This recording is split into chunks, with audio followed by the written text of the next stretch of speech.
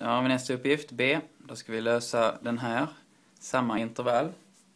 Här måste ni känna till att sinus delat med cosinus, det är lika med tangens x.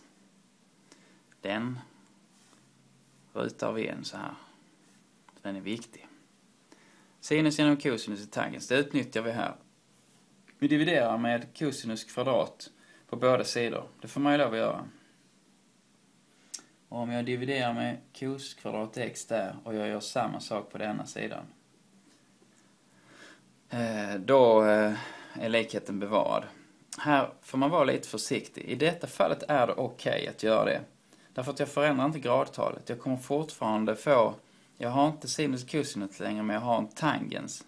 En ny funktion med samma gradtal. Jag plockar alltså inte bort en potentiell lösning ur problemet. Och det är viktigt. Hade det stått, ehm, ja vi kan ta det senare, men hade det varit att jag hade haft en, en cos kvadrat x plus eh, några cosinus x sådär lika med eh, noll säger vi. Jag kan inte bara dividera med cosinus här. Alltså egentligen så skulle jag kunna, eftersom det står noll här och det är cosinus i den och cosinus i den, skulle jag kunna dividera bort ett cosinus och få cos x plus 2 lika med 0. Men då har jag missat lösningar. De jag har missat då är att egentligen så är faktoriseringen det där gånger cosinus x. Så cosinus x kan ju antingen vara lika med 0 eller är den lika med 0. Så jag, jag blir ju av med alla lösningar som tillhör cosinus x lika med 0 om jag tar bort en grad från min ekvation. Det får man inte göra. I det här fallet förändrar jag inte gradantalet. Jag vet inte riktigt om det är den korrekta benämningen på det, men eh, gradantalet är ju lika med antalet lösningar för vanliga ekvationer. För trigonometriska ekvationer är det sant inom en viss period.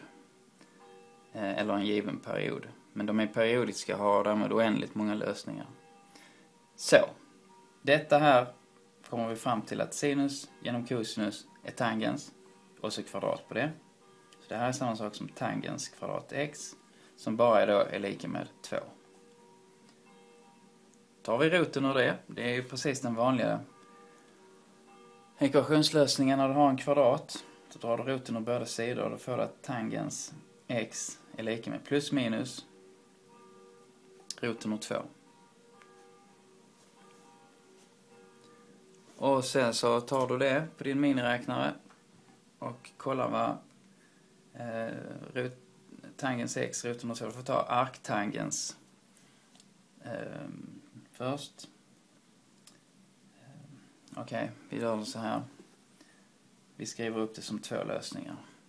För man måste ta hänsyn till varje fall. Det är det som är det luriga med de här trigonometriska eh, ekvationerna. Det här är ju två fall som ger olika lösningar. Så ett och två. Så ettan, tangens x lika med roten av 2. Ja, då ska vi räkna ut eh, arktangens för roten av 2. Arktangens har vi där. Shift, vi tar en parentes för säkerhets skull. Roten av 2 får man gå ur rottecknet. 54,7 grader. Okej. Okay. Så detta är att x är lika med 54,7 grader plus 1 gånger 180. Som ju är, eh, vad heter det? Eh, perioden för tangens. Och har vi minus i det andra fallet så har vi ju att eh, tangens x är minus roten av 2. Och då får vi något annat. Tar vi bort det igen så skriver vi arktangens, fel parentes, delete. Och så ska det stå nu minus roten ur 2 utav parentes, ut rottecknet. Och då får vi minus 54,7. Det där hade vi inte behövt slå på miniräknaren. Så, nu har vi skrivit upp lösningarna. Ritar vi nu detta, så 54,7, det har vi ju där någonting. Sen så skulle det vara plus 1 gånger 180. Så då får vi en lösning här. Som är 54,7 plus 180. Det ska ju återigen vara i det här intervallet. Sen har vi en lösning med minus 54,7, det är där. Plus 1 gånger 180, då hamnar vi här uppe. Så det är de här lösningarna vi får. Alltså x är lika med 54,7.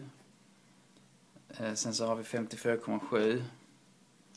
Då har vi det plus 180.